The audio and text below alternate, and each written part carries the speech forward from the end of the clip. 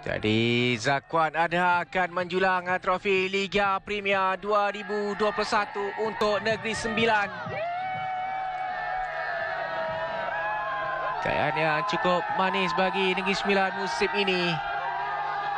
Itu dia kejuaraan Liga Premier 2021 menjadi milik Negeri Sembilan.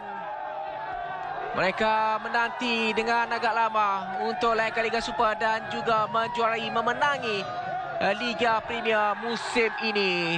Jadi secara sah malam ini mereka bergelar juara Liga Premier 2021. Jadi itu dia majlis penyampaian yang uh, mengesahkan kejuaraan Liga Premier menjadi milik skuad Obing Jan Obing, skuad Negeri Sembilan. Jadi baiklah saya itu saja daripada kami dari Stadium Tuanku Abdul Rahman Paroi. Kita kembali bersama dengan Anif dan juga saya di studio.